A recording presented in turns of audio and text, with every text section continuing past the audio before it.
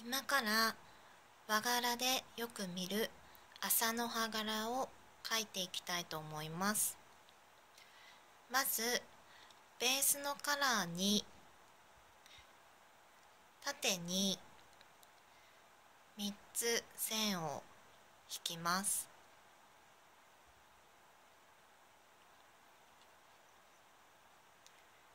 線を引いたら次に斜めに線を引いていきます。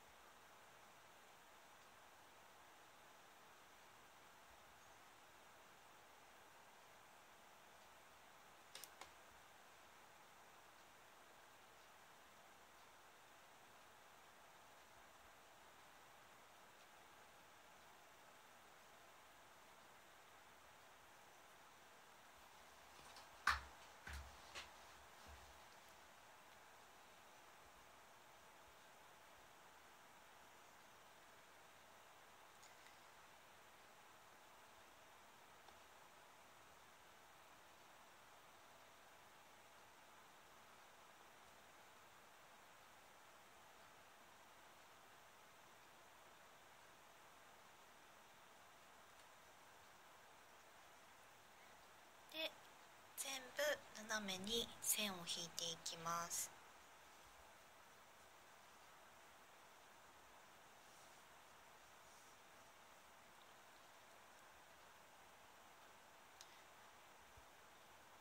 次に正三角形ができるように逆にまた斜めの線を引いていきます。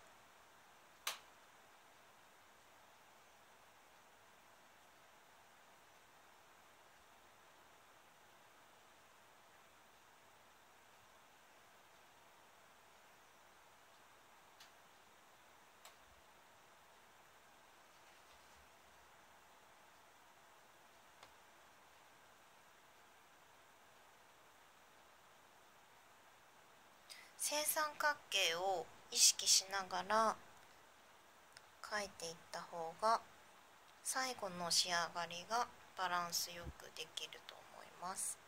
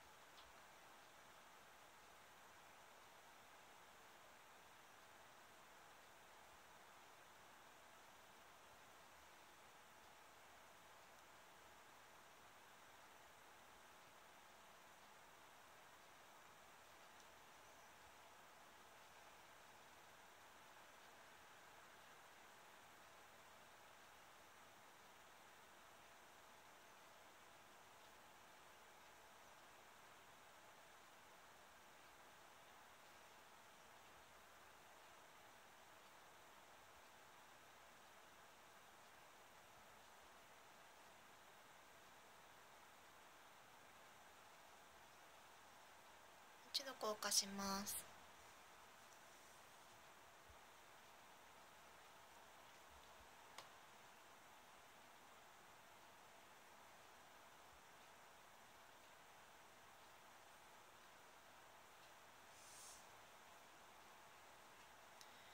次に正三角形の真ん中に真ん中に点を打ちます。その点から三角形の角に3本線を引きます。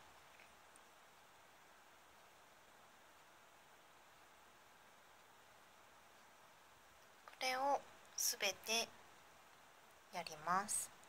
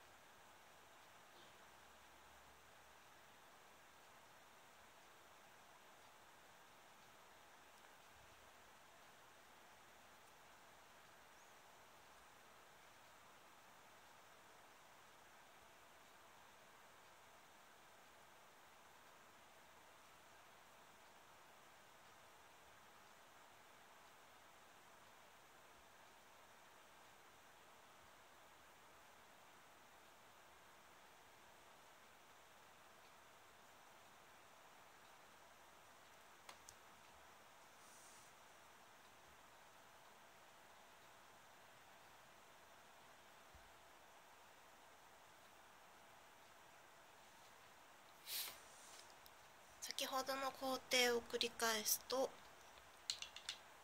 マノハ柄の完成になります。最後にトップコートを塗ります。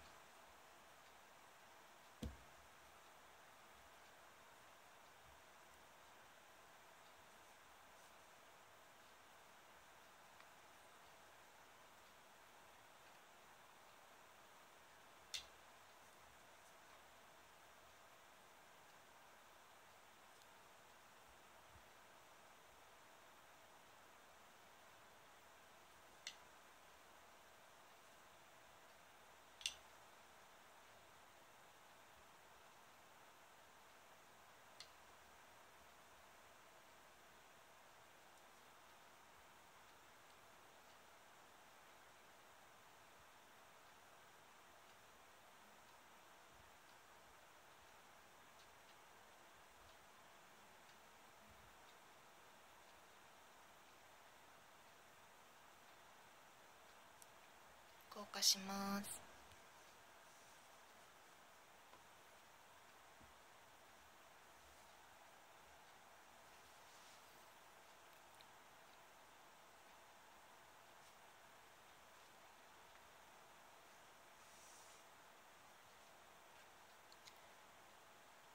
マノハ柄の完成です。